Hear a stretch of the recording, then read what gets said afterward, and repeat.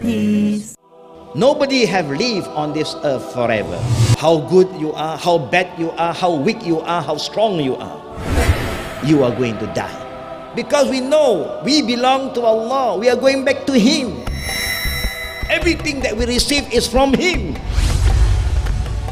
Where do you spend your time? Where do you spend your money? All will be questioned by Allah. Human will never get anything from Allah except what they have earned in this dunya.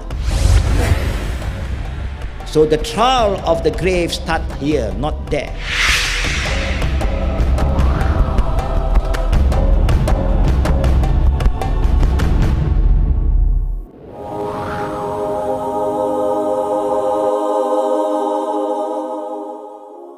Ladies and gentlemen, with me on the stage now is Sheikh Hussain Yee.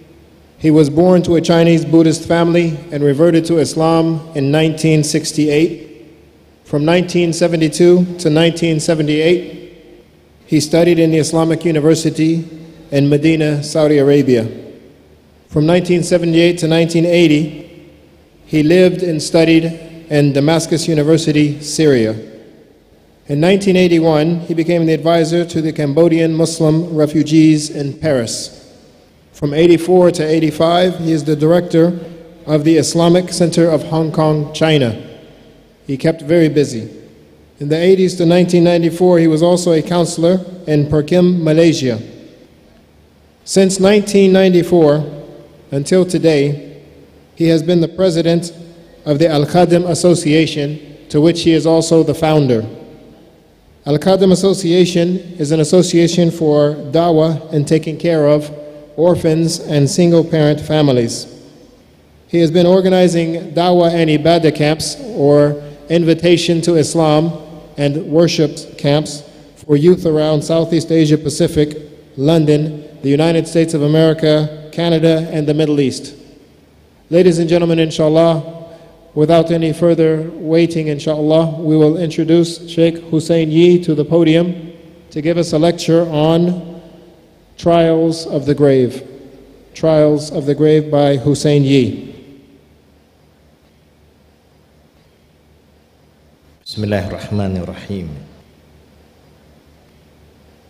Inna إن الحمد wa نحمده wa ونستغفره ونعوذ بالله من شرور أنفسنا ومن سيئات أعمالنا. من يهده الله فلا مضل له ومن يضلل فلا هادي له. وأشهد أن لا إله إلا الله وحده لا شريك له وأشهد أن محمدا عبده ورسوله. يا أيها الذين آمنوا اتقوا الله حق تقاته.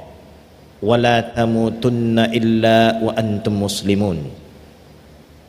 يا أيها الناس اتقوا ربكم الذي خلقكم من نفس واحدة وخلق منها زوجها وبث منهما رجالا كثيرا ونساء واتقوا الله الذي تساءلون به وأرحم إن الله كان عليكم رقيباً. يا أيها الذين آمنوا اتقوا الله وقولوا قولا سديدا. يصلح لكم أعمالكم ويغفر لكم ذنوبكم. ومن يطع الله ورسوله فقد فاز فوزا عظيما. أما بعد فإن أصدق الحديث كتاب الله وخير الهدي حد محمد صلى الله عليه وآله وصحبه وسلم. وشر الأمور محدثاتها وكل محدثة بدعة وكل بدعة ضلالة وكل ضلالة في النار أو كما قال. أحييكم بتحية الإسلام وهي تحية الله. السلام عليكم ورحمة الله وبركاته. All praise due to Allah subhanahu wa ta'ala. Allah as the creator of all things and the sender of all prophets and messengers and the revealer of all truth. We ask Allah subhanahu wa ta'ala to shower His mercy and blessing upon His beloved Prophet Muhammad sallam, and all other messengers and the family of all the prophets, and for those who follow the teaching of the Prophet till the day of judgment. On the behalf of my family, on the behalf of my committees of Al Qadim Malaysia, we would like to convey their warm salam to all the brother and sister tonight. My Jama'ah informed me, please, Sheikh Hussain Yee, when you meet the brother in Chennai, don't forget to convey our warm salam to all of them. They know all of you. They knew about this occasion because we always talk about what the Muslim in Chennai, especially Vision Peace of Islam, have done these few years. Fellow brother and sister in Islam, Allah said, Kuntum khaira ummah. You only can be the best nation if you do da'wah. And Allah said again, takum minkum ummah. Among you, all Muslim, there must be a group that call people to Islam. And this is the best group. And we believe that you will be the best. We hope that the people of Chennai will be the best. Do you think you can be the best, brothers? Do you want to be the best? Alhamdulillah. You can be the best. Allah never said that only the Arab can be the best. No. Only the Chinese can be the best. No.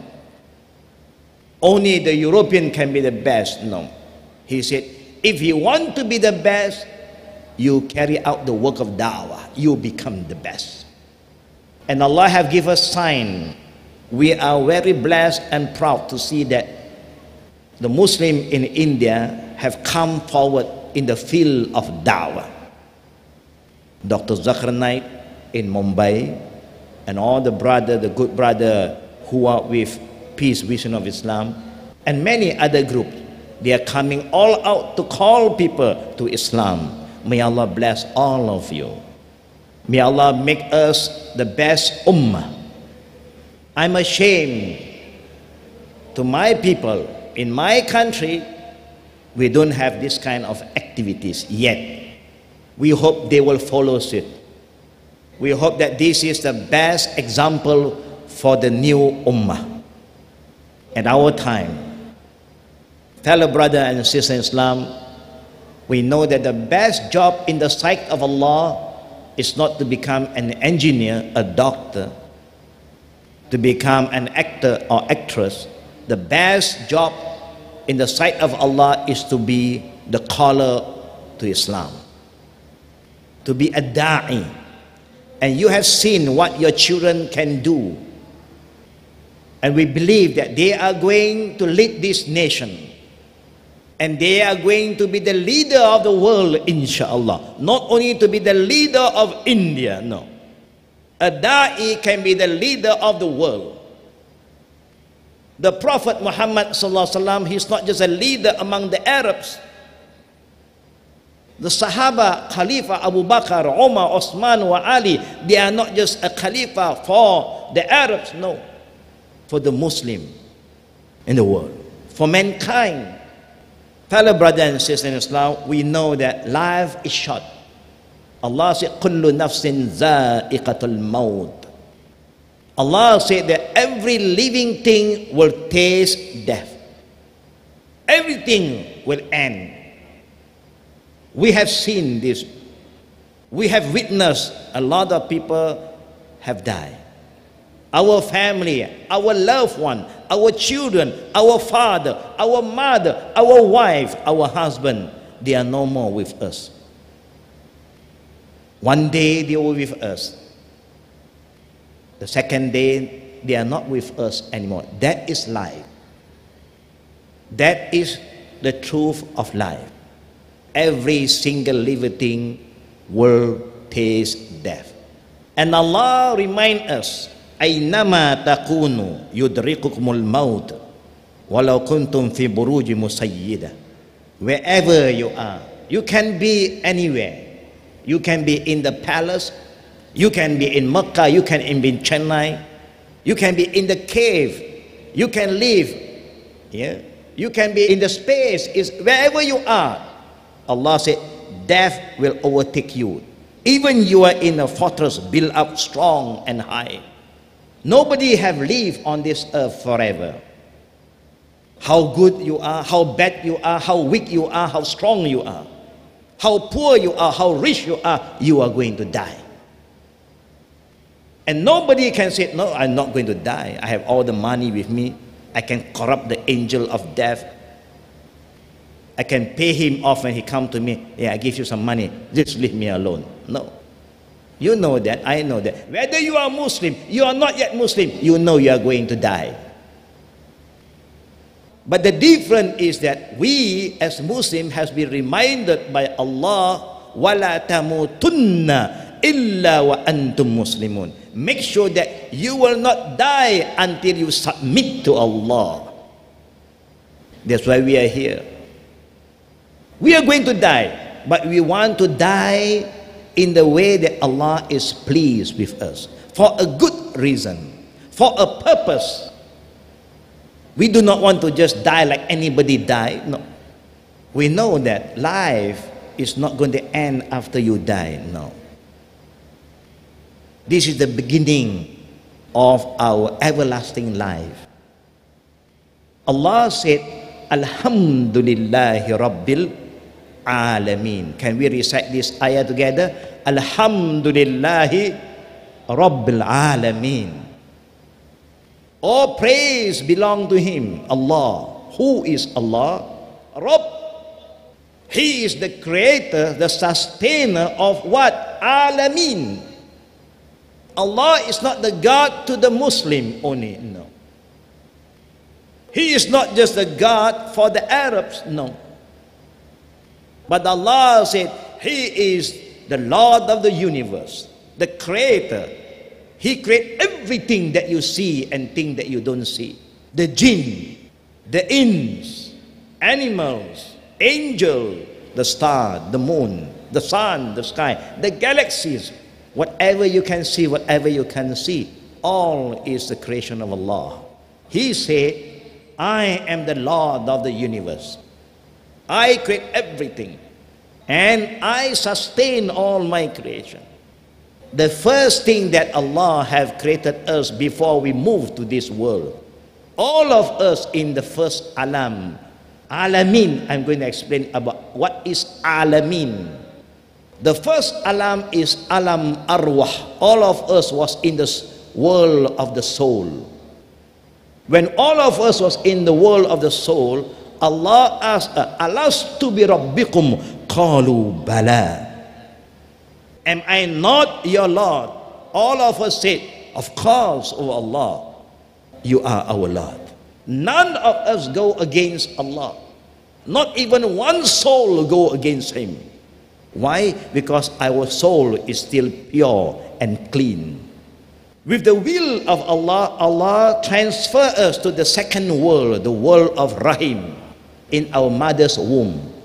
Allah transfer us to the second world, Alam Rahim, and Allah still asks us, Alastu bi rabbikum? Qalu bala. Am I not your Lord? We said, Yes, of course, you are our Lord. At that time, there is no disbeliever. Everyone is a believer. There is none who is not a Muslim. Every soul is a Muslim. Everyone. Then Allah allow us to move to the third alam. We are here now.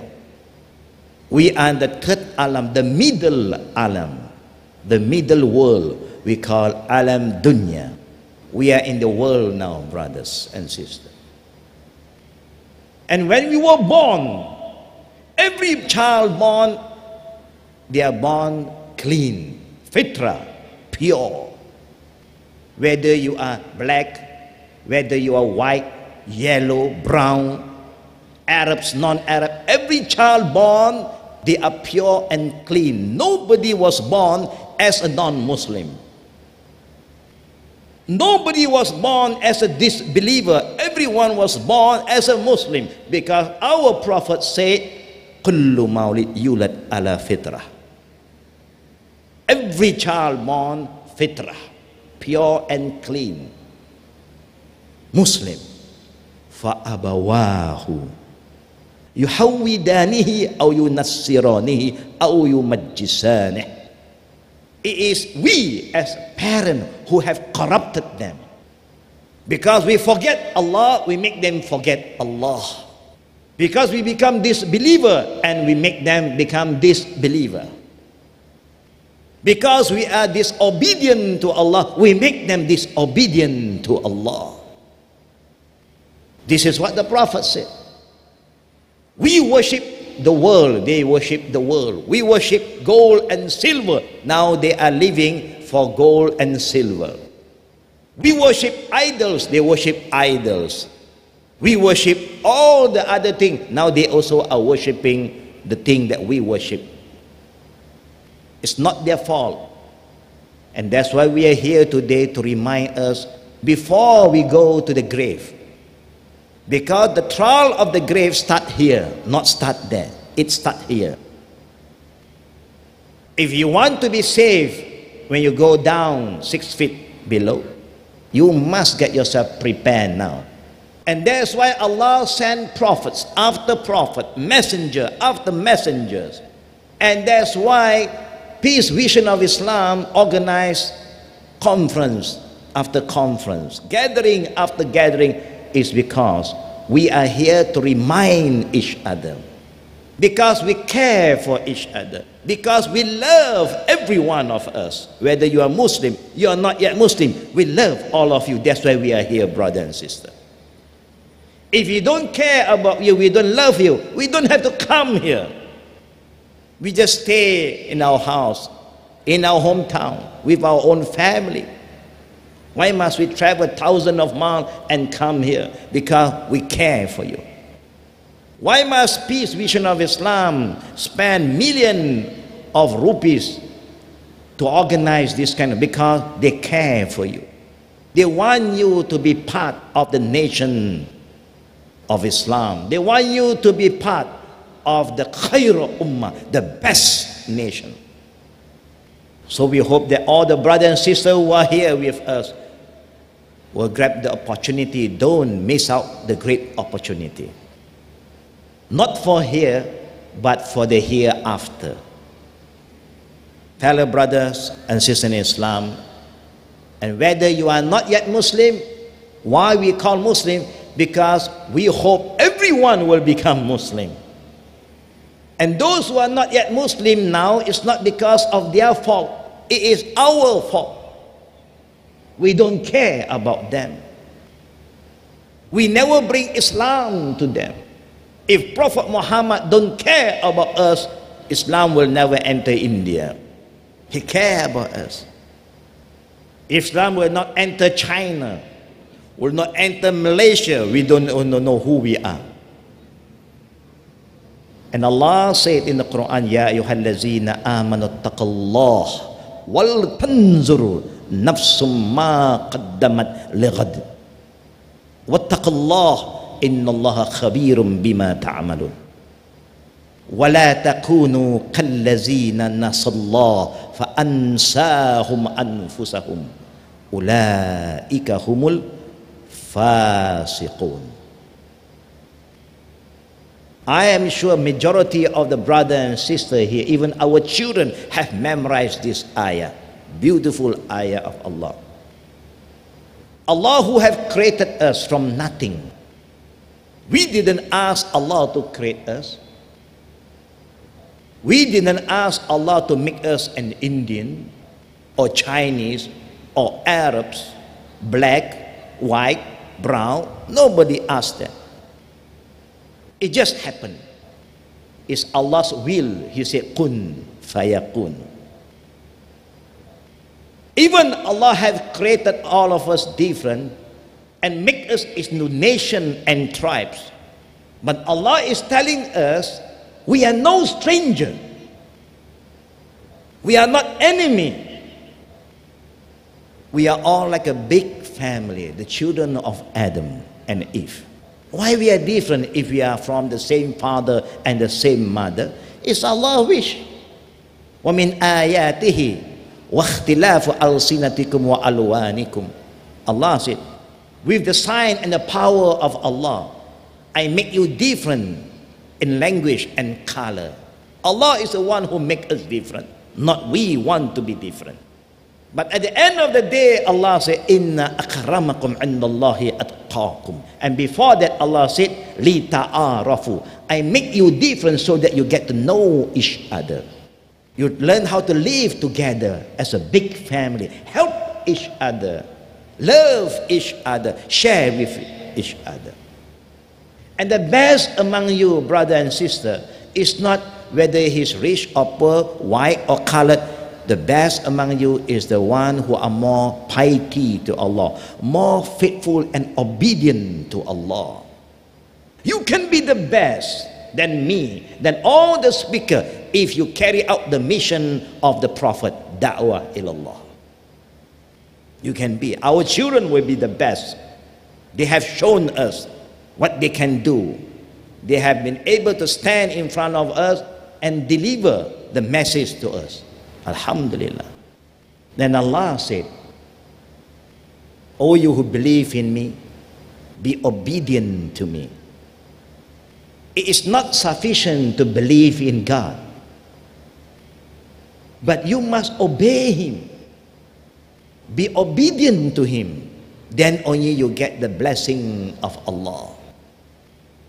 An example, it is not sufficient to be an Indian citizen. But you must obey the law of the country. Then you will be blessed. It's not good to say, I have a father, I have a mother, but you don't obey your father and your mother. So, obeying is very important. Allah said, look, look into yourself. Don't look into other people. Don't point at other people. The Chinese saying, one finger pointing out, three finger pointing back inward. Don't keep on pointing others. You, you, you. Don't, don't have to do that. Point to yourself. وَلْتَنْزُرُ نَفْسٌ مَا قَدَّمَتْ لِغَدٍ Look into yourself. What have you prepared for your next day, your next life, your tomorrow. And your tomorrow is not on the earth, is six feet below. There is our tomorrow. And Allah said, وَلَا تَكُونُوا كَالَّذِينَ نَسَى Don't become like the people, don't become like the people who forget Allah. Why? When you forget Allah, Allah will forget you. When you ignore Allah, Allah ignore you. Can you imagine, brothers and sisters, what will happen to us when we go back to Allah? He don't recognize us. He don't acknowledge us. We are gone. We will be the loser. And Allah subhanahu wa ta'ala remind us again, كل نفس زائقة الموت Wa inna innama tuwaffawna wujurakum yawmal qiyamah. Everyone shall taste death. And only on the day of judgment, the day of Qiyamah, resurrection, shall you be paid fully by Allah. What is the thing that can save you and me when we leave this world? Not your money, not your children, when we talk about dollar and cent, gold and silver, listen to the saying of the Prophet. وعن أبي هريرة رضي الله عنه قال قال رسول الله صلى الله عليه وسلم يقول العبد مالي مالي وإنما له من ماله ثلاثة ما أقل فأفنى أو لبس فأبلى au tasaddaqa fa amda rawahu muslim the prophet said every one of us will say this is my money this is my property this is my car this is my house this is my business. Everybody will claim that this is his. Whatever money you have now in your pocket you will say this is my money. The hundred rupees, the 500 rupees that is with you now, you say that it's yours. True or not, brother? Is that your money? Whatever you have in your pocket is yours or not? I don't hear you, brother. If you say it's not yours, you must throw it out. It's haram for you to keep something that don't belong to you. There's a big box waiting for you from Vision Peace of Islam. Anything is not yours, take it out. Don't keep it, don't bring it back. It's haram. But you say it's yours, so nobody can take it from you. It's true, it's yours. But the Prophet said, Nothing is yours except three. Nothing you can say is mine except three. Number one, when the money, what can the money do to you? Can you eat your money, brother? Can you swallow your money? You love money, true? Yes. Can you just chew it now? Can you just eat one of you? Can you just open take 100 rupee and just eat? Do you like to do that? If you do that, what will people say about you? He's crazy. You are crazy, you eat money. Money is not for you to eat. Money is for you to spend. Then the prophet said, What is yours is when the money turn into food. You buy a food a burger, chapati, tose. Tose, you say tose or tose? When you buy, it's not yours. It's still not yours. Maybe your friend can, oh, please give me, I'm not, I'm hungry. Can you give me the dose? Oh, take it, my friend. It's not yours. After you consume it, when inside your stomach, that is yours. Nobody can take it anymore. The money that you buy water, tea, coffee, Pepsi, that is yours. After you drink, after you drink, that is yours. Before you drink, it's still not yours. You may die before you drink. That is not yours. The money that you turn into dress, you wear it, wear and tear, that is yours. But what is in your pocket is in my pocket is not ours yet. If you want it to be yours, no problem. Do you want all the money with you to be yours forever, brother and sister? Please tell me. Do you want the money that you have with you now to be yours? Please, I don't hear you. Again. Yes, I want my money to be mine. Alhamdulillah. Do you love money? Do you love money, brothers? You must be true to yourself. Yes, I love money. I love gold. I love silver. You ask your wife, Do you love money or you love me? Your wife will say, Diamond is forever. Not my husband. My husband is not forever. It's for some time only. But diamond is forever. You can love diamond, no problem.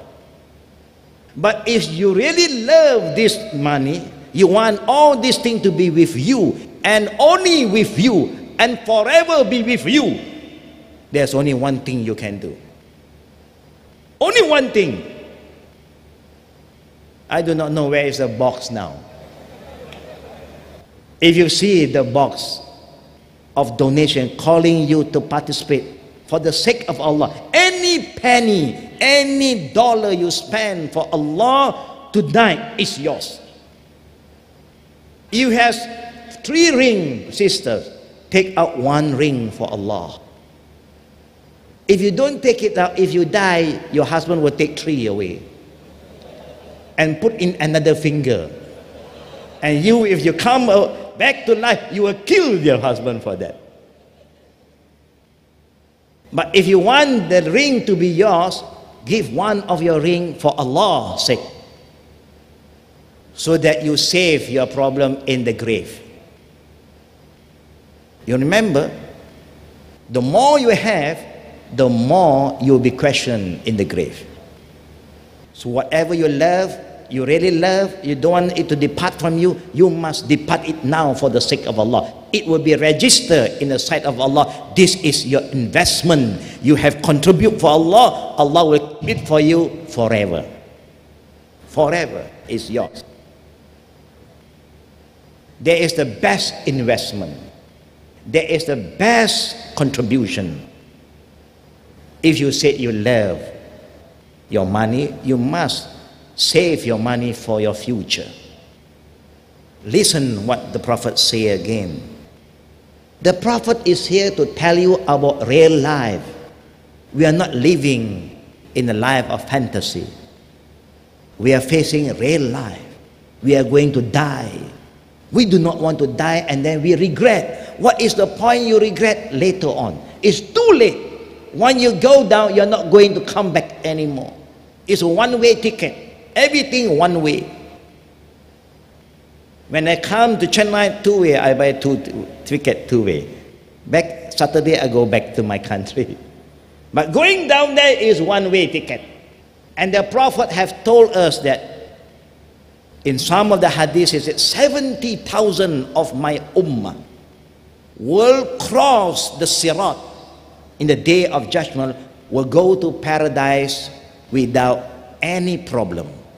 After the Prophet crossed the sirat, the bridge to paradise, 70,000 of his ummah will follow them without any problem. They will cross the bridge like lightning. They are over there. They're in paradise now. Allahu Akbar. So some companion asked the Prophet, why 70,000? Why they can go to paradise so fast like a lightning? Because the Prophet explained, these people, everything that Allah give them, they have give it back to Allah. There's no more question for them in the day of judgment. It's like when you travel, if you travel by flight, when you reach the other airport, you just bring your briefcase. No extra luggage. Do you need to go to the custom? There are two custom. One red line and green lane. Red lane, green lane. Green lane for people who have nothing to declare. No good to declare. The custom see you travel with one bag. He will never stop you. He know there's nothing for you to declare. So people who go back to Allah without a lot of dunya, they can go to paradise very easy but not you, not me. We will have a lot of problem when we die because there will be a lot of checking from the custom officer. We have so much thing with us. You want to know whether you have a lot of thing or not? You try to shift to another house. You got to prepare a big lorry to move your things. There's so much thing that we got to carry with us. The Prophet said from Anas ibn Malik, Qala qala Rasulullah. This is a beautiful word from the messenger of Allah who know about what is going to happen in the grave and what is going to happen after we die. We don't know. We have not been there yet. If I am there, I cannot come back. Who knows? Allah who created us, He knows everything. And he informed his messenger to inform us, to tell us, so that we are prepared, so we will not regret. يتبع الميت ثلاثة فيرجع اثنان ويبقى معه واحد The Prophet said, everyone who is living today is going to die. And when you die, there are three things that will follow you. Three things will follow you. Where? They will follow you to the grave. They are going to follow you to the graveyard. Two will return and only one will be loyal to you. One will be your best friend, but the two will return, will not stay with you for long. يتبعه أهله وماله وعمله Your family is going to follow you. When the funeral is on, when the coffin is on, you have your family, your wife, your children, your father, your mother, your friend will follow you to send you to the graveyard. Wamaluhu, maybe you have some property,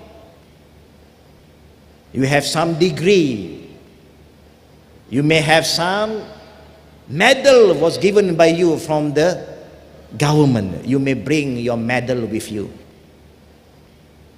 You can bring your diamond, your gold, your silver with you, no problem. And your deeds, amal. Two will return. Your family is going to say, Bye bye, my darling. Do you think you say, Oh, I love you. We will live together and die together. You think they will do that? Before you get married, you can make promise, empty promise. I love you, my darling. The sky will be my witness. The tree be my, my witness. I love you, my full heart. Everything in me is yours. I want to live and die with you. You say, okay. but when he died, bye bye. I'm not going to follow you. Crazy. It's true. That is life.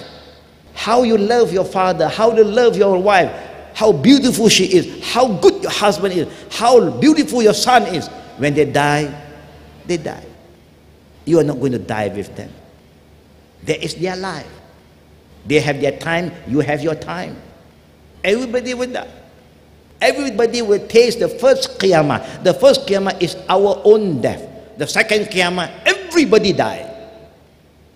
There is a second qiyamah. فَيَرْجِعْ ahluhu wa maluhu wa yabqa ma'ahu amalu. Everyone will return back and left you alone. We are alone now. Who will be with us in the grave? Our deeds, our amal. The good thing that we have done. If you have called people to Islam, that is your good deeds.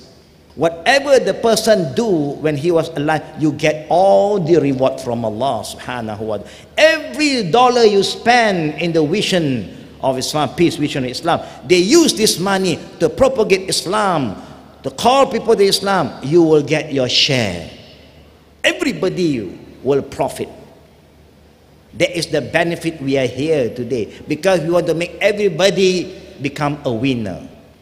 We do not want to be a loser and fellow brother and, his, and sister in Islam, don't forget that Allah subhanahu wa ta'ala have remind us in many ayah. One of the ayah is very simple.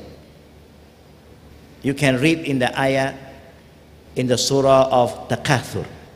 How do you begin with this ayah? What is the first ayah? Do you remember, brother? Can somebody help me? Alhaakumut takathur. At the end of the ayah, how do the Allah end this ayah? Can somebody help me? Somebody, somebody use the mic. I want somebody to participate. Come on, come on, somebody. Somebody, please, brother, come. The ending of the surah.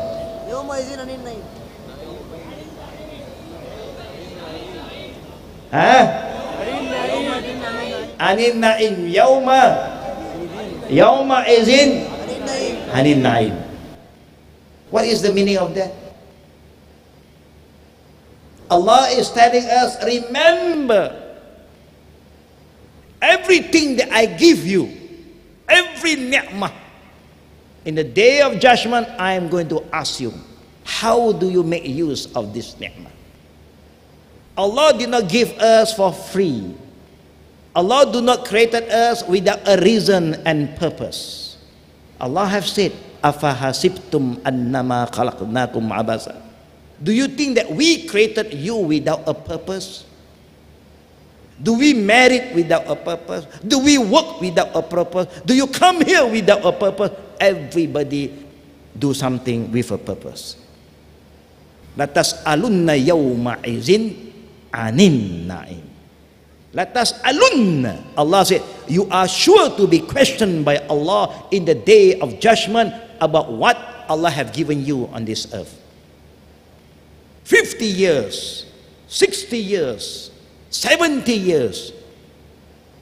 One wife, two wife, three wife, four wife. Money, gold, silver. Allah have given you so much. What have you make use? Where do you spend your time? Where do you spend your money? All will be questioned by Allah. But if you do it correctly now, you have less problem in the grave. Because when you go down there, brother and sister, nobody is going to be with you except your deeds. And then the angel Munkar Nakir will come. He is sure to be there waiting for you. And he is going to start the Q&A. After the ending of the lecture, we have Q&A. But there, there is another Q&A. The Q&A, you must pass. You fail, you have big, big problem.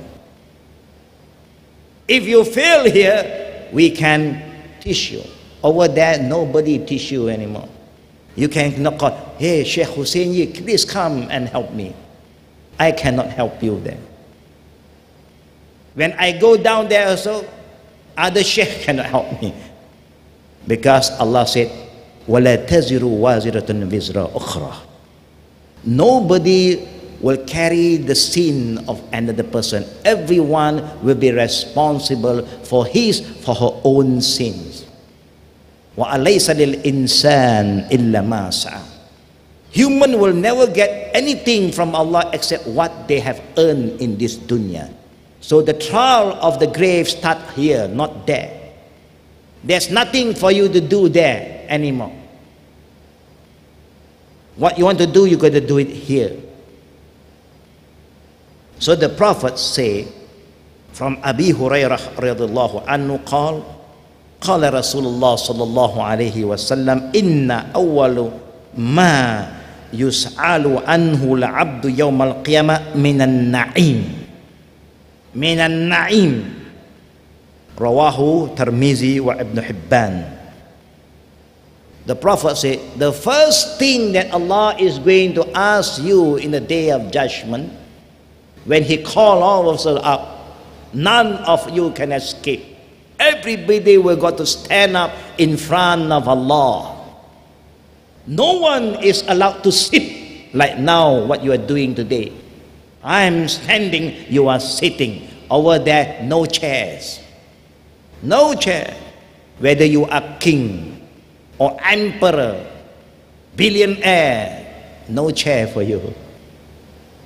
Here, at least you have some chairs. If you are king, you have a special chair. The king don't sit like you. He cannot sit your chair. And you cannot sit his chair too. It's dangerous to sit the chair of the king. But over there, everybody will be standing, standing. And you know how long you going to stand there, brother? 50,000 years. Allahu Akbar. We don't even stand for five hours yet. You, but you got to stand 50,000 years. And there is only one day in Qiyamah. That's why they say Yawmul Qiyamah, not Ayyamul Qiyamah. If Allah said Ayyamul Qiyamah, many days of Qiyamah. Only one day, not even a night. But one day is equivalent to 50,000 years. Everybody got to stand for 50,000 years. But Allah Kareem, for those who have deeds, who have prepared themselves, who have invested, now in Akhirah, they have no problem. For those who bring up your children to be Good children, righteous children, like the children you have seen, they are trained to do da'wah, to call people to Islam from young. And if they become the caller of Islam, all of us as parents will receive the blessing of Allah. It's a great investment. The mother, the father in the time of the Prophet, when they have children, the only thing in their dream, in their life, is to make sure these children become the righteous people. Waladan saleh. Because all of us know, brother and sister, this is the last hadith that I like to share with you. The Prophet said, "Iza mata ibnu Adam in qata'a amalahu illa bisalatha." That means every children of Adam will die. Muslim, not Muslim, people who are not yet will die. You die, the Prophet said, in qata'a amalu. You are cut off from this world.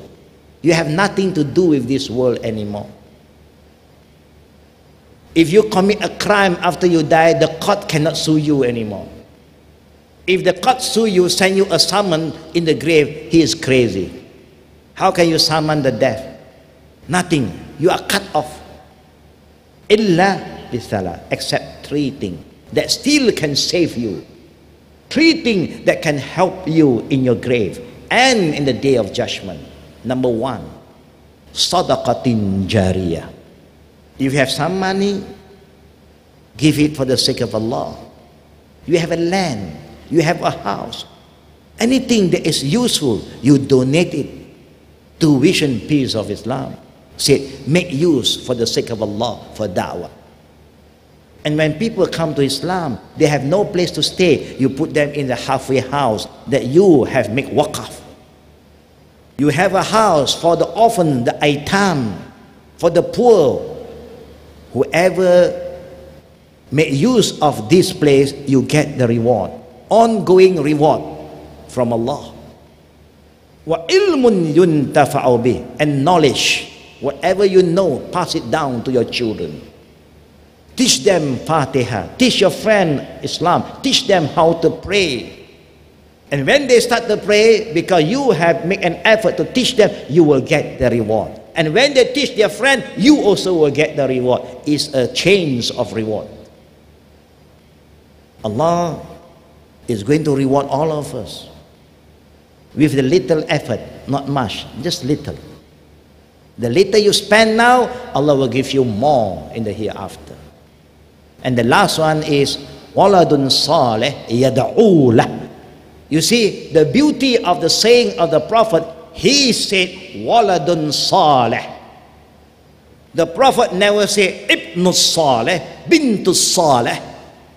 He said, Waladun Saleh. What is the meaning of walad here? That means any children that's under your care. You make them become righteous children. You die, they become good children. They pray, they fast, they do da'wah, they make zikr, you will get all the reward from Allah. Even they are not engineer, doctor, it's not a big problem. Because when you go down six feet under, Allah is not going to ask you about your doctorate. Allah is not going to ask you one question about your professorhood. Whatever you spend for dunya, just for dunya, in the secular education, not even one question Allah asks about that. But Allah will ask about your deen. Ma rabbuk. Wa ma dinuk. Wa man nabiyuk. He will ask you that. Waladun saleh. Righteous children. It can be your own children, your adopted children, your nephew, your niece. It can be anybody who is under your care. Because there are some people don't have children. So can they have this kind of blessing from Allah? Yes. Take care of some orphans. Take care of your brother's child, your sister's child. You will get the reward. Waladun saleh yad'ulah. Fellow brother and sister in Islam, we believe because we have seen with our own eye what Dr. Zakir Naik have done in Mumbai in one of the night, he gathered at least 14 children, maybe more, I forgot. I was there. I was sitting like you, sitting down there, watching these 70, uh, 14 or 16 children. And everyone is about 13 years old, if I don't forget. And everyone is our double. They become our double. One's children represent Ahmad Deedat. One children present Dr. Zakir Naik, his own son. One children present Dr. Bilal Philip, Abdurraheem Green, Yusuf Este, and there's also one present me. All of them become our double. 13 years old, they speak like every one of us. It's a great achievement. If any of you participate in this program and your children become Waladan Saleh, Allah is going to bless you forever, brother and sister. You cannot be like them, maybe. You cannot be like us, but your children can be better than us. Inshallah. As nothing is impossible. The beauty of the knowledge of Islam, if any children have knowledge of Islam, the knowledge of Islam will bring them over the globe. They can travel around the globe. If I'm not a Muslim, I cannot be invited to talk to you. I will be staying in Malaysia, finish. I'll go to China, Hong Kong, my homeland, finish. But because of Islam, I travel everywhere. I travel to China, I travel to Taiwan, I travel to Papua New Guinea, I was in Fiji, I was in Tonga, I was in New Zealand, I was in Australia, I was in America, in Canada, Europe, here, Middle East. Why? It's because of La ilaha illallah. You see what La ilaha illallah can do to us? La ilaha illallah Muhammad Rasul can make us become the great ummah. Great people. We don't have to fight for it. Just work for it, for the sake of Allah. At the end of the day, brother and sister, if you want to save yourself from the trial of the grave, remember the ayah that you always recite. Maybe not you, yeah, because majority of the Muslim in this country are Ahnaf. But the Shafi'i people will always recite, Inna salati wa nusuki wa mahyaya. Follow me? We recite together, Inna salati wa nusuki wa mahyaya wa mamati lillahi rabbil alamin. Allahu Akbar wa lillahi alhamd. Majority of the Muslim in Southeast Asia will recite this dua iftitah in the prayer.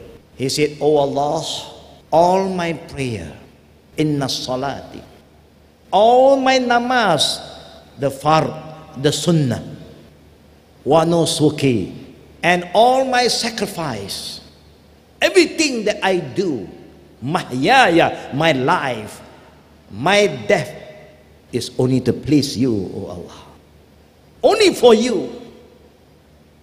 Because we know we belong to Allah. We are going back to Him. Everything that we receive is from Him. Everything. The eye that see is from Allah. The ear that hear is from Allah. Everything belong to Him. And everything is going back to Him. Inna lillahi wa inna ilayhi raji'un. Everything comes from Allah and will return back to the owner.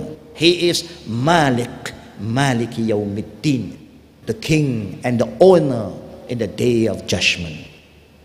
So, fellow brother and sister, once again, I'd like to remind all of you, please don't forget what I say about your preparation for the grave and the hereafter. Don't leave this area tonight without looking for the box. There's some box there now, I saw. There's some box there. Please go towards the box. Not for me. Not for peace, but for Allah's sake. Because they have done a good job. It's our duty to be part of it. And I'm happy that all of you are here. I believe that you are going to be part of it. And I'm going to bring all of you back in my country because I'm going to talk to my people about how good the people here. Yeah, how supportive the people here. How strong your iman is. Wherever I go, I'm talking about the people in Chennai. I'm talking about the people in Mumbai. This is how we become popular. You are not there, but people are representing you. And before I stop for Q&A, I would like to call all the brothers and sisters, let us make a short prayer, a very short prayer for every one of us. A prayer that the Prophet have taught us.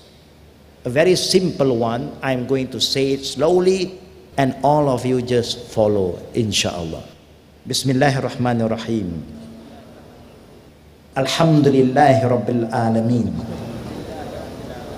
Allahumma salli ala Muhammad wa ala ali Muhammad kama sallaita ala Ibrahim wa ala ali Ibrahim innaka hamidum majid.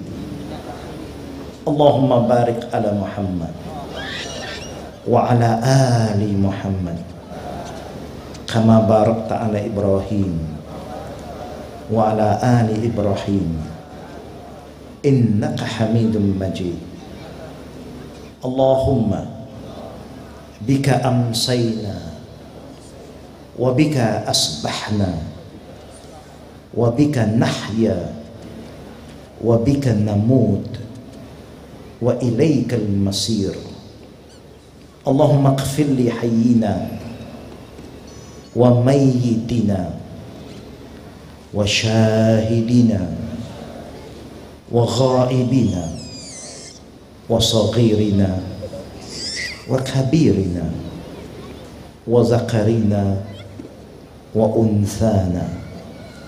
اللهم من أحييته منا فأحيه على الإسلام ومن توفيته منا فتوفه على الإيمان O Allah, bless our evening and our morning, our life and our death. And to you we will return. O Allah, forgive the sin of those who are living among us and those who have passed away among us. O Allah, give, forgive the sin of those who are present tonight and for those who are absent. O Allah, forgive the sin among us, the young and the old, the male and the females. O Allah, if you will allow us to live longer on this planet, let us live as a good Muslim and a practicing Muslim and a caller to Islam. And if you will want to take our life anytime, O Allah, make sure that we are prepared and we'll go back to you with Iman. Wal husnil khatimah. And make our ending the best ending. Amin. Ya Rabbil Alamin. Subhanakallahumma bihamdik. Ashhadu an la ilaha illa anta. Astaghfiruka wa atubu ilaih. Assalamualaikum warahmatullahi wabarakatuh. Ladies and gentlemen, at this time we open the floor for questions and answers, my favorite part of the evening. We would prefer, inshallah, that our Muslim brothers and sisters allow our non Muslim brothers and sisters the opportunity to answer questions, make statements, or pose criticisms. We as Muslims have many opportunities to meet and greet our scholars and to ask them questions and to have our misconceptions clarified opportunities which many of our non Muslim companions don't have. So we ask you that you allow them the opportunity and give them the encouragement to come to the microphone and ask questions. At this time, inshallah, I will begin the questions. Sir, would you please state your name, your occupation, and then state your question briefly? I am Muhammad Ghaus. By profession, I am a doctor. You said that three things will accompany in the grave. And you yourself said that second thing will be the knowledge you leave it to your children. Whether the knowledge you said is only for religious knowledge or a man leaves some scientific knowledge for the benefit of the humanity to come or he finds out some disease and medicines for it, and he, he tells to the people, whether such knowledge also will give him benefit. Inshallah. Yeah, where the Prophet said, Ilmun yuntafa'u bih. The Prophet do not just say that the knowledge of akhirah, mean any knowledge that can bring benefit to the ummah, to mankind, inshallah, you will be rewarded for that. Yes, Zakallah. Rear mic, inshallah, on the brother side, inshallah. Assalamu alaikum. My name is Gundu Muhammad Amin. I am a businessman. As you rightly given me speech in your uh, lecture that there is no life after death, but in, in India, our Hindu brothers are believing in rebirth. They say that after your death, you will born again. If you do good thing, you will be rewarded and you will become a rich man. If you do bad thing, you will be born as donkeys or dogs. Do you please comment? Uh, we do believe what Allah said and what the Prophet have taught us about life after death. We all believe there is a life after this world. The Hindu may also believe, the Chinese believe, everybody believe in it. Only they believe in different ways. Some people believe that by nature our soul is clean, is pure. After we commit a lot of sin in this earth, when you die, because your soul is so corrupted, so unclean, you cannot go back to nirvana. You cannot go back to where you came from. So that's why they say there is a concept of reincarnation, meaning you will be reborn again in another mother's womb, and then they give you another chance to become a better person. But after some time, after the first, the second of reincarnation, if you still are a bad guy, you die, and at the end of the day, you will turn to be an animal. This is what they believe. But this is not uh, from what Allah said, not in the book of Torah, not in the book of Injil, not in the book of Zabur, not in the book of the Quran. So we believe what Allah said is true, not what some people say. Yeah, So we believe there is life after death, of course, but in the way of what Allah have explained to us. Alam barzakh, then alam akhirah, then it will go to hell and paradise, and you will be there forever. But other people can believe what they believe, that the belief in Islam is the best, because it's not something what people say, is what Allah the Creator have said in the Quran and the Sunnah of the Prophet. So, inshallah, we are saved. We are in the right path. For people who believe that they are going to reincarnate again, they have some belief, but their belief is not in the right path. We hope that Allah will give them guidance and they will follow our belief, and all of us will be safe in the hereafter. Inshallah. Ameen. We'll now take a question from the sister section. Assalamu alaikum. Wa alaikum salam wa rahmatullahi wa barakatuh. This is Asma. I'm a teacher by profession. Brother, you were telling about the first thing that would be asked when you are resurrected. There are many hadiths about this. One of the hadiths I quote earlier is about the ni'mah, na'im, all the bounties that Allah have given you. But there are also other hadiths talk about the amal. This is about the ni'mah. The other hadith the Prophet did said, awalu ma yuhasibu al mar'u yawm al qiyamah an salatihi. The first amal that Allah is going to value in the day of judgment is your salat your namaz. Few few hadith but we are talking from different angle. But my the hadith that i quote earlier is about naim about the ni'mah. Whatever Allah have given you the ni'mah. Example the ni'mah of your life. If Allah give you to live for 50 years, then Allah is going to question you about how do you spend your 50 years. The money that Allah give you, Allah is going to ask you, how do you spend your money? The same, the knowledge Allah give you, what do you do with your knowledge? This is all the ni'mah. There is the question that is going to be asked by Allah. We'll take a question from the young man, inshallah, in the front. Could you please state your name? And I think we all know his occupation, huh? Assalamu alaikum wa rahmatullahi wa barakatuh. Wa alaikum salam wa rahmatullahi wa barakatuh. My name is Ahmad. I am a student. can, can a dead person's relative pray for him, read Quran? Does it benefit to him? Jazakallahu khairan, Ahmad. Yeah? A young boy asks a very, very important uh, question about can, when somebody pass away, our family, our friend, can we do something for them? Yes, the Prophet said, Istaghfiru li akhikum. Anybody pass away, the first thing we say is, Inna lillahi wa inna ilayhi raji'un. Saying, telling, remind ourselves, they came from Allah and to Allah they are returning. And then you, the Prophet said, Istaghfiru li akhikum. Ask Allah to forgive their soul. So we say, Allahumma lahu, Allahumma laha.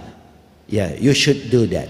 Every Muslim must do that. Whether you know him or not. When you hear somebody die, say, Inna lillahi wa inna ilayhi raji'un. Then make prayer, Allahumma lahu or Allahumma laha. But can you recite the Quran and present it to him? There is no hadith from the Prophet to confirm that. A lot of Muslim is doing that, but it's not based on any authentic hadith. It's part of the tradition a lot of people is doing. Do what the Prophet recommend us is the best. You can pray, you don't have to recite. Quran is for the living, not for the dead. Quran is for people who is alive, not for the dead anymore. You understand, boy? Now, Alhamdulillah, may Allah bless you. My son, yeah? This is our son. Look at him. No, he's going to be a good son, inshallah.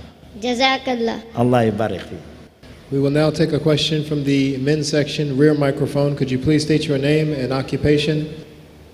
My name is James Rosario, and I'm a Catholic priest.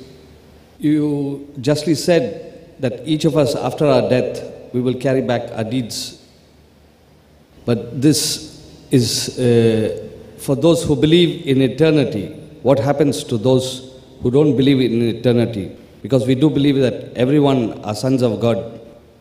Number one, fellow brothers, we Muslim believe that we are the servant of Allah. We don't call ourselves a son of God because even is a term used by the people of the book, by the Christian. I was a Christian too before. Of course, we always say that we are the son of God, the children of God. God is our father. The reason they use this term actually is to make us feel closer to each other. To say servant and Lord, maybe it's a bit far. It's like a servant and a master. But if you use the term son, children, father, it makes you feel closer. But Allah subhanahu wa ta'ala in the Quran forbid us to call ourselves as son or children of God. And also don't call him father, call him Allah. Call him Allah. And we are Abdullah, the servant of Allah. Now whoever died do not believe in the hereafter. There is no future for him. Because he don't believe in that. That's why the future is for people who believe. Allah subhanahu wa ta'ala have reminded us and also Prophet Muhammad have informed us. He said, La يدخلون jannah hatta tu'minu. None of us can enter the paradise that belong to God except for those who believe. If they don't believe, then there's no future for them. People who die without believing in the hereafter, there is no future, there's no hope. They are living in darkness. That's why prophet was sent. Moses was sent. Abraham was sent. Noah was sent. Jesus was sent. Muhammad was sent to remind us about real life after death. So may Allah subhanahu wa ta'ala open the heart of those who don't believe in the hereafter to become believer and they die as a believer so that there will be a future for them, inshallah. What I wanted to know specifically was that problem is in those we, we live also with those who don't believe. So then their lives here are not transformed in any way because their deeds, they don't bother about their deeds. Yeah, we know that we are living among the people who believe and people who are the disbeliever. That is why it is our mission, it is our duty to call them to believe. in God. Because that is our mission. We cannot just leave them alone, but if they choose not to follow, nobody can force them. At least in the day of judgment, if Allah asks us, Have you conveyed the message? We have done our duty. And Allah said that our responsibility is just to convey the message. If they accept it, it's good for them. If they don't accept it, we will keep on trying and pray for them. And we hope one day they will accept it, inshallah. We'll now take a question from the sister side. Inshallah, sister, could you please state your name and occupation? Assalamu alaikum. Wa alaikum salam wa rahmatullahi wa barakatuh to the sister. I'm Inas. I just want to know briefly what happened to the people who do not have natural death? What happened to those souls? Would you please explain what natural death is? Like they do commit suicides. Commit suicide. Yeah. I was reading some hadiths lately about people who die committing suicide. What happened is the Prophet do not offer prayer to them. He himself will not offer any prayer to them to show us that he disliked anybody to take their own life because our life don't belong to us it belong to allah we got to accept the truth that we wait for the time for us to go but the prophet never forbid other companions to offer the funeral prayer but what will happen to them the prophet said in the day of judgment Allah subhanahu wa ta'ala is going to punish them for what they have done to themselves.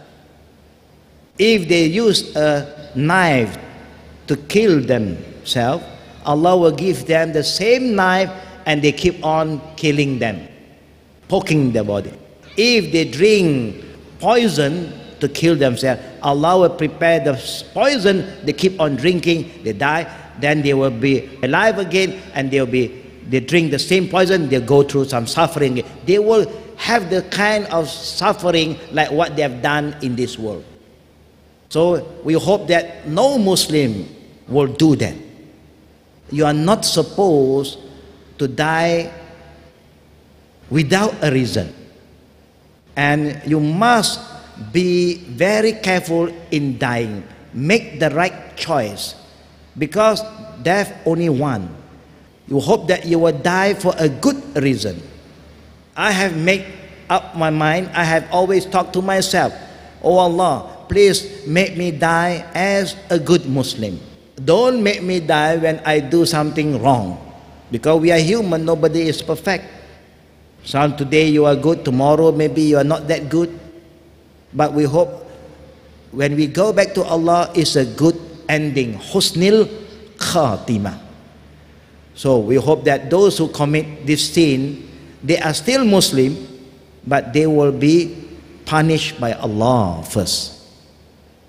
And all Muslim, the Prophet said, at the end of the day, because of the iman, the belief they have in God, in Allah, they will go to paradise. Whoever believe in Allah at the end of the day, they go to paradise. Yeah? So may Allah make us among the people of Jannah. Ameen. Ya Rabbil Alameen. We'll take the question from the front male mic, inshallah, with the young man, inshallah. Please state his name and occupation. Assalamu alaikum. Wa alaikum assalam wa rahmatullahi wa barakatuh. My name is Sulaiman. I, I am doing homeschooling. How many years we will stay in the grave? How many years? No one knows. That's not important for us, son. Yeah? It's not important for us to know how many years. The year over there is not the same like the year on this earth. But everybody actually who is down there now is sleeping after the question, the trial of the grave. They are in the world of barzakh. They are there. Barzakh means they are in a waiting world between kubur and akhirah. There is barzakh. Barzakh means there is a wall that stops them from entering the day of judgment. So everyone now actually is just sleeping. Those good person who die, Allah give them big space like a big room, superior room, yeah, And then with aircon, you know, Alhamdulillah, they can take rest. You know? But those who are bad people, they also are there, but in a very small room without aircon and darkness. And for those good people who have died, Allah will op- command the, the door of paradise to be open so that they can see in their dream. The one who is dead is like sleeping and they have a good dream. But for the bad soul, they will be there and they will always have bad dream because the door of hell is going to open for them. And then they can see and they are suffering now. Why they suffer? Because they know at the end of the day they are going to go to hell. Why the other soul will be very happy because they know at the end of the day they go to paradise. So about how long, only Allah knows, my son. Okay? Alhamdulillah. And I remind our non Muslim guests you may see the queues looking long to you, but you have the priority at the microphone. If you have a question, you can go to the front of the line. So if there are any non Muslims who have a question, you can go to the front of the line. Brother, could you please state your name and occupation and then your question? Assalamu alaikum. My name is Salim Ahmad. Wa alaikum salam wa rahmatullah. I'm a banker. My nowadays in Surah Yasin, it is said that on the day of resurrection, everybody will be risen up from the graves, and those who rise from the grave, they will ask a question: Who has uh, disturbed us from our slumber? Does it mean that nothing happens in the grave from our day of death to day of resurrection? Khair. Now Allah reminds us about the reality of alam barzakh. is a waiting world. Actually, after the Q&A from Munkar and Nakir, Allah subhanahu wa ta'ala, there is some kind, some form of punishment in the grave. That's all that I can say to you, brother. Jazakallah. Assalamu alaikum. My name is Samrin. I'm a student. My question is what happens to those people who die due to tsunami or burn away or those die due to natural calamities where they are not buried into the earth? The Prophet have informed us signs of good ending, sign of good death. One of the signs of husnul khatima, if people die uh, because of flood, like tsunami, people die because of fire, like there's a burning, and then they're caught in the building and they die in the fire, and people also who die when the building collapses on them. There are many signs, at least 19 signs. I have a book talk about this sign. This is a small booklet that talk about the people who die with a good ending. Now, in this small book, I have wrote about 19. The Prophet have give us 19 signs of good ending. So whoever die in that situation and they believe in Allah, they are dying as a shaheed. Yeah? Even to us, we feel eerie. Why? We don't even find their body, but Allah know best. Yeah, Allah know best. Now, what is important? We must prepare ourselves.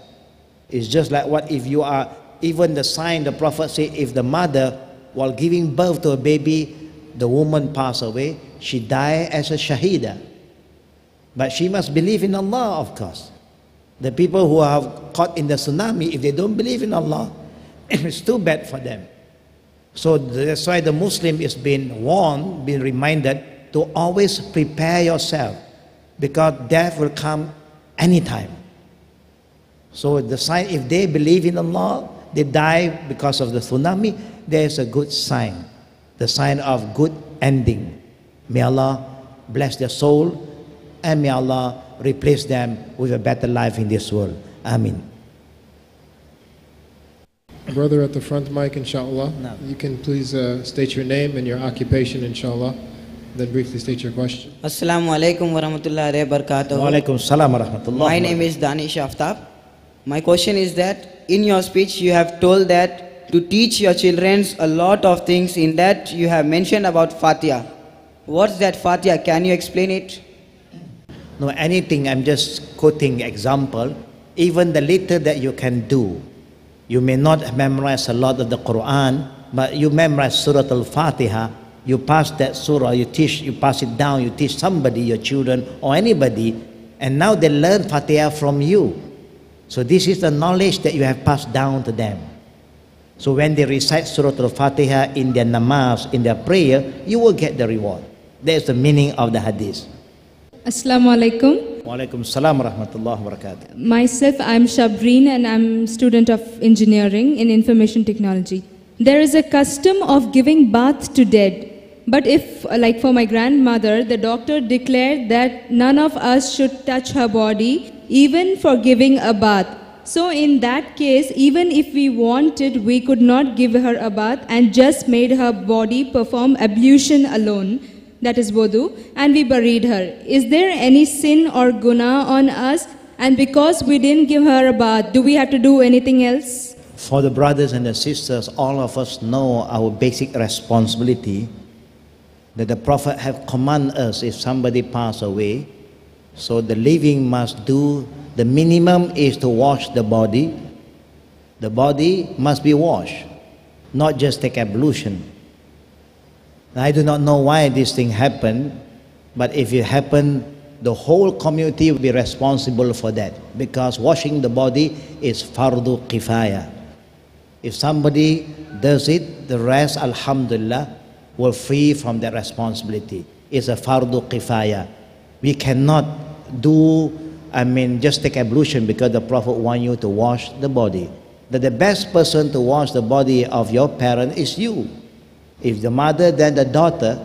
But if you can't, then get another Muslimah lady who have the knowledge about washing the dead body. That should be done by the Muslim Ummah. Yeah, this is the first time I heard if a Muslim pass away, yeah, zakallah. Okay. The second part of that question was actually, uh, is there anything that we need to do in No. order to compensate for that? Yeah, the past is the past. What can you do? If you have buried her, there's nothing you can do.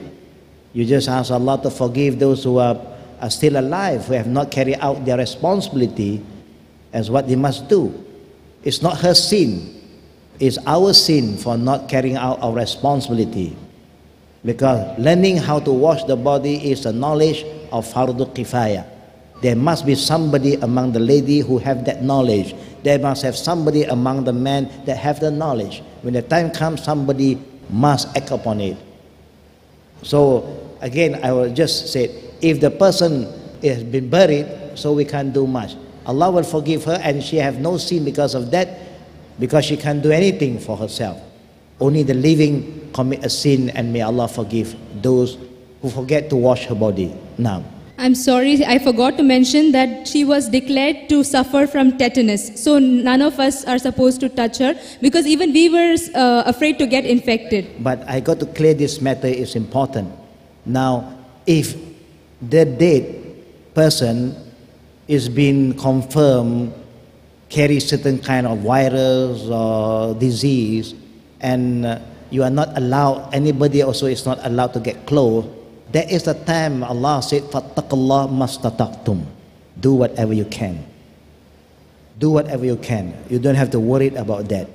But if purposely you have you are able to do something, you don't do it, you will be responsible for that. But if there's a reason, Allah knows best. Yeah? Jazakallahu khair. Spread the word, oh man. Spread the word of Islam. Oh, fortunate one. Paradise must be won. Paradise must be won each day and each night. Through darkness and through light. Cry it out to the world. Spread the word.